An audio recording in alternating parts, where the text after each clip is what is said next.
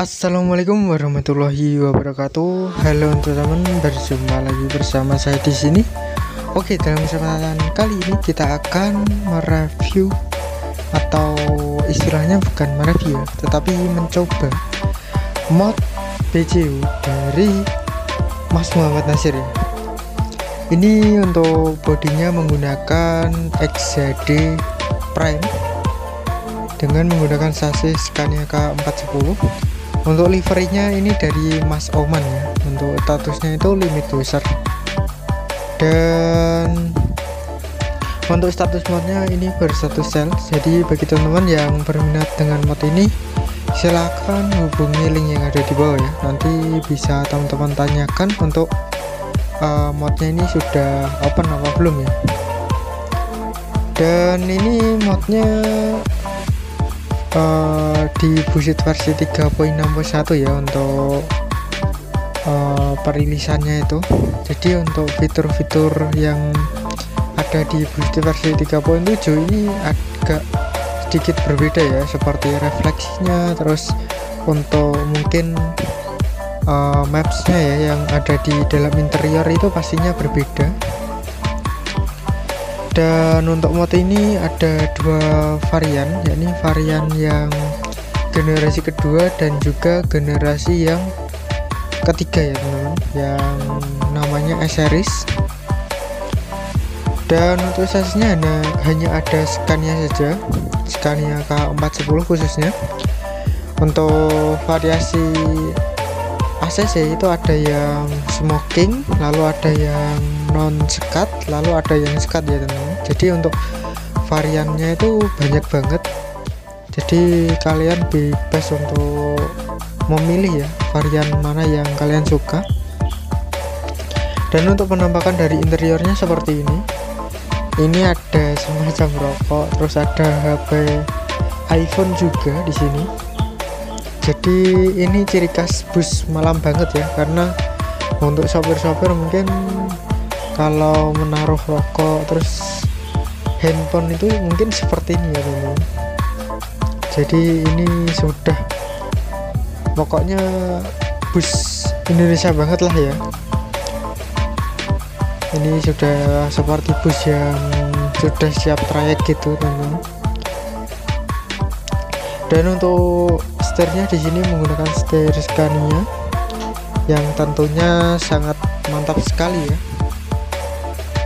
Untuk pandangannya juga enak banget di sini dan untuk dashboardnya juga detail banget.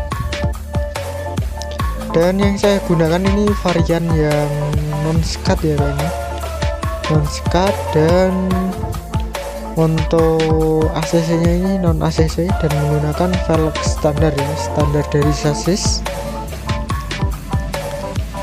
dan untuk apanya lagi? Untuk toiletnya ini berada di bagian tengah. Dan untuk belakang ini sudah full seat ya. Juga ada seat yang uh, formasinya itu 6 buah bangku yang di bagian belakang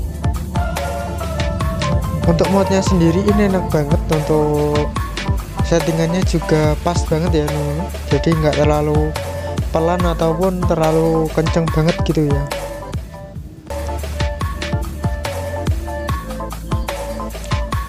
Dan untuk mapnya ini tumben ya. Biasanya tuh kayak agak mendelep ke dalam gitu ya tapi ini tidak seperti map yang baru gitu teman jadi mungkin ini modnya sangat uh, cocok sekali ya dimainkan di Busit versi 3.7 ini.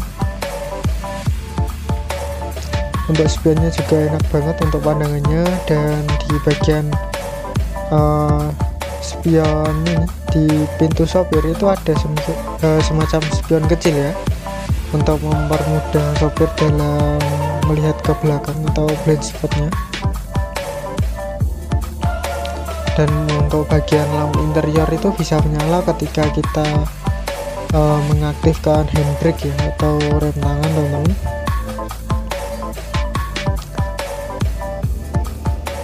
Dan enaknya ini seharusnya pakai ini ya uh, bus STJ Samoa karena uh, STJ Samoa itu menggunakan sasis Scania K410 ya dan untuk mencari livery dari armada ini agak sulit ya di grupnya itu.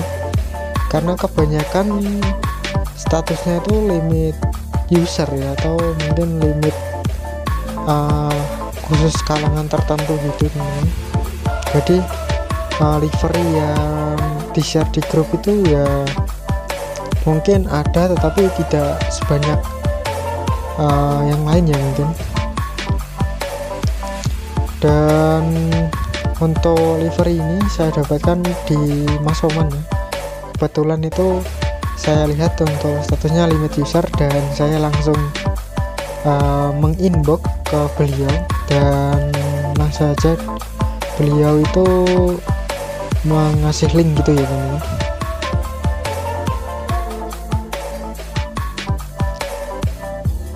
dan ini kita belok ke kanan untuk akurasi belokannya lebih enak itu pakai sasis tronton ya teman-teman. Jadi lebih leluasa gitu dibandingkan sasis yang double axle saja. Kalau tronton itu untuk belokan seperti apa pun itu enak banget ya karena untuk ban belakangnya itu bisa bergerak gitu ya. Bisa berputar kanan kiri jadi mantap banget dan mungkin kita nanti tidak akan full trip ya karena mungkin durasi juga. Karena map yang ada di Semarang ini lumayan luas ya. Jadi kita mungkin nggak akan sampai ke Surabaya karena ini saya menggunakan rute Semarang Surabaya ya teman-teman. Dan ini kebetulan hujan untuk pemandangan dari interior itu seperti ini ini cocok banget ya untuk liverynya karena liverynya ini super rapi gitu ya teman-teman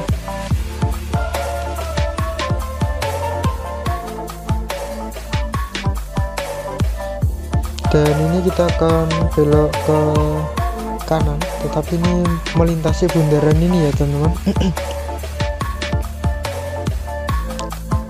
dan mungkin teman-teman ada yang saran lagi kita akan menggunakan armada apa silahkan komen ya. Atau kita menggunakan armada yang kemarin kita review Avante D1 dengan menggunakan livery ya mungkin. Karena untuk liverynya itu belum ada yang share. Jadi saya kemarin itu reviewnya hanya livery polosan ya atau livery dari bawaan modnya gitu dan mungkin cukup sekian video yang dapat saya sampaikan dalam kesempatan kali ini. Bila ada kekurangan atau kata saya mohon maaf. Akhir kata saya appreciate channel wassalamualaikum warahmatullahi wabarakatuh. Salam busit money